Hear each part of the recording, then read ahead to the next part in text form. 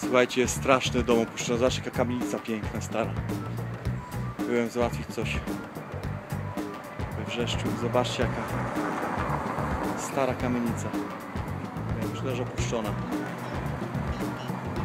Coś pięknego. To był króciutki taki vlog codzienny. Mamy 30 stopni w cieniu. Lato w pełni.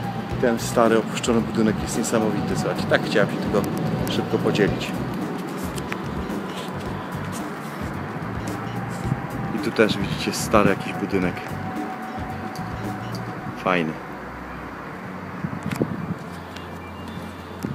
Pa, pozdrawiam.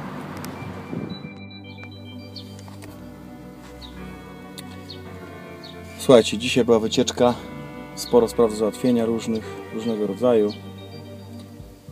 Ja już jestem na miejscu, cisza, spokój, ptaszki śpiewają, cień, słuchajcie, upał niemiłosierny, lato ostro wszędzie, 33 w cieniu. No i cóż, to był taki króciutki vlog z lipcowego popołudnia. Straszny dom. Opuszczona kamienica. Skądinąd bardzo ładna. Mam nadzieję, że zostanie odrestaurowana, bo przepiękny budynek zabytkowy.